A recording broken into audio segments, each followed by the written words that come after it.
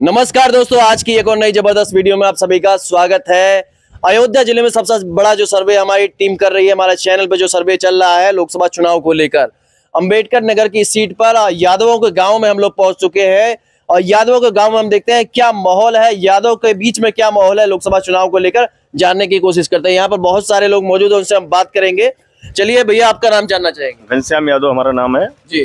जी। तो क्या लग रहा है इस बार क्या माहौल है इस सीट माहौल ये है कि झूठ फरेब ईवीएम जब तक है जो मेरा मानना है टेम्परिंग होती है और वो सब सारे तमाम पढ़े लिखे तबके के लोग आकर के टेम्परिंग करके दिखाए लेकिन फिर भी चाहे कोर्ट हो चाहे जो भी है वही सारे लोग हैं और मुझे ये लगता है कि वास्तव में जो है लोकतंत्र खतरे में जा चुका है। इसके लिए हर नवयुवक को हर किसान को हर मजदूर को सामने आने की ज़रूरत होगी। जैसा कि शुरुआत हमारी इस वीडियो की जब होती है, शुरुआत में ही ईवीएम की बात आ जाती है। ईवीएम की बात जो बीते कुछ सालों से, बीते कुछ चुनावों से आप लोगों को देखने को मिल हैं, सुनने को मिले हैं और कहीं ना कहीं आरोप लगता रहा है। तो दोस्तों, आप लोग भी कमेंट बॉक्स में जवाब देते रहेंगे कि अंबेडकर नगर की ये जो सीट है, ये लोकसभा सीट है इसमें कौन जीत रहा है, आपके हिसाब से कौन आगे चल रहा है? रितेश पांडे और लालजी वर्मा के बीच कांटे टक्कर बताई जा रही थी। लेकिन इस बीच में जब बसपा प्रत्याशी आता है तो कुछ ना कुछ मामला इधर उधर होता है। लेकिन कांटे की टक्कर जो है सपा और बसपा सपा और भाजपा में ही देखने को मिल रही है। चलिए हम जानने की कोशिश करते हैं। क्या लग रहा है यहाँ से कौन जीत रहा है? इस पे क्या कहेंगे यहाँ से देखिए ये बैकवर्ड का पूरा क्षेत्र है और बैकवर्डों का आरक्षण मारा जा रहा है। सारी चीज़ें हो रही हैं और जो पढ़ा लिखा बैकवर्ड है तो वो तो सचेत हो रहा है। और रही बात जो मंदिर मस्जिद में ये भटकाया जा रहा है ये देश को एक गलत दिशा में ले जाया जा रहा है जो देश के लिए नहीं सबके लिए खतरे की घंटी है। और यहाँ से लालजी वर्मा भारी रहेंगे उसमें कहने सुनने वाली कोई बात नहीं है। चलिए हम आपसे अभी फिर बात करेंगे। लालजी वर्मा भारी रहेंगे। तो भैया आपका नाम जानना चाहेंगे? कृष्ण कुमार। तो कृष्ण कुमार जी क्या लग रहा है कौन जीत रहा है यहाँ से? लालजी वर्मा। लालजी वर्मा जीत रहे हैं यहाँ से। और ऐसा आप क्यों कह रहे हैं लालजी वर्मा जीत रहे हैं? कोई कारण होगा कोई मन में बात होगी? मन में कारण क्या? क्यों क्या लग रहा है कि नेता अच्छे हैं? नेता अच्छे हैं। रितेश पांडे का काम कैसा लगा था? रितेश पांडे को आज तक हम देखे ही नहीं। आज तक देखे ही नहीं? पाँच साल बीत गए। पाँच साल बीत गए जीते आज तक नहीं देखे उनको। टीवी टीवी टीवी मोबाइल पे? टीवी मोबाइल क्या कोई काम नहीं है सिर्फ़ वोट लेने के लिए लोग आए गठबंधन बना सपा बसपा का गठबंधन बना उस गठबंधन के तहत वो जीते। लेकिन जो अपेक्षाएँ थी कि ये पढ़ा लिखा सांसद हमको मिल रहा है हमारे क्षेत्र के लिए लोगों के लिए कुछ करेंगे लेकिन कुछ भी नहीं किया। शकल दिखाने नहीं आए धन्यवाद ज्ञापित नहीं करने आए इससे बड़ी बात क्या हो सकती है? धन्यवाद ज्ञापित करने भी नहीं आए। चलिए यहाँ पर एक लोग और मौजूद है उनसे हम बात कर लेते हैं फिर आपसे हम बात ज़रूर करेंगे दोबारा। आपका नाम जानना चाहेंगे? अजय यादव। तो अजय यादव जी क्या लग रहा है इस बार क्या होने वाला है इस लोकसभा चुनाव में इस सीट पर?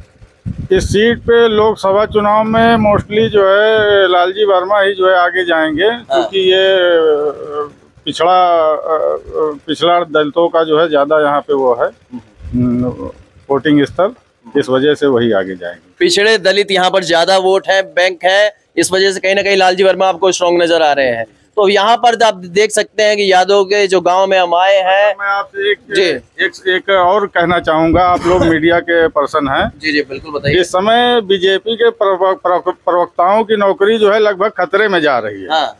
उसका रीजन ये है कि ये आपके मीडिया वाले ही उनकी जो है प्रवक्ता का काम कर रहे हैं आजकल। मतलब गोदी मीडिया गोदी मीडिया वो जो है विपक्ष को बोलने का जो है अवसर ही नहीं देते हैं। वो कटाक्ष जो है उसी समय कर देते हैं कि माइक लेके भाग जाते हाँ, हैं। माइक लेके भाग जाते हैं। उनका जो है आवाज़ को म्यूट कर दिया जाता है। और खाली जो है मोदी की प्रशंसा और ये जैसे उच्च स्तरीय जो है इस पर जाँच होनी चाहिए। ये मीडिया वालों के भी ऊपर जो है लगाम लगानी चाहिए। क्योंकि होता क्या है कि ये मीडिया वाले ही जो है देश के चौथे स्तंभ होते हैं और ये जब किसी एक पार्टी विशेष के पक्ष में जो है अपना मत रखने लगते हैं तो ये चीज़ गलत है। ये चीज़ ये चीज़ गलत है। इन्हें सबकी सुननी चाहिए और जहाँ न्याय हो उसको न्याय देखना चाहिए। अभी आप देखिए कि कितने मर्डर हो रहे हैं जेल के अंदर जेल के बाहर हैं? मुख्तार अंसारी की बात कहीं ना कहीं। हाँ लगभग यही है। अब नाम नहीं लेना चाहूँगा नहीं, नहीं बोलिए वो कोई दिक्कत नहीं क्योंकि मोदी मीडिया है कल को जो है हमको भी जेल में डाल सकती है लेकिन हमें इसकी आपत्ति नहीं है। नौकरी मिलनी नहीं। नौकरी मिलनी नहीं है सब युवा बेरोजगार हैं और जो है सब पाँच किलो राशन लेने के लिए सवेरे से अफजल अफजल अंसारी जी कहते हैं कि जेल में जहर दिया गया था भाई को। हाँ बिल्कुल सत्य है ये इसमें कोई जो है दो राय नहीं है। मुख्तार अंसारी से पहले आप देखिए जो है वो एक मुस्लिम नेता हुआ करते थे क्या नाम था उनका? अतीक अहमद। और इसके बाद जो है वो कानपुर के वो अच्छा मीडिया पे आपने आरोप लगाया। कहीं ना कहीं ये बात सही है जो लग रहा है उसका भी एक कारण ज़रूर हो सकता है। कमेंट बॉक्स में आप लोग कहते रहिए और जब जवाब देते रहिएगा।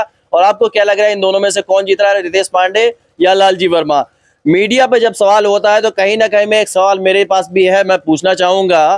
क्या ये जो टीवी मीडिया आपको दिखाई दे रही है इतने बड़े बड़े सर्वे कर रही है कि उत्तर प्रदेश में ये पार्टी इतने सीटों पर जीत रही है ये पार्टी इतने सीटों पर जीत रही है ये लोकसभा सीट पर ये जीत रहे हैं?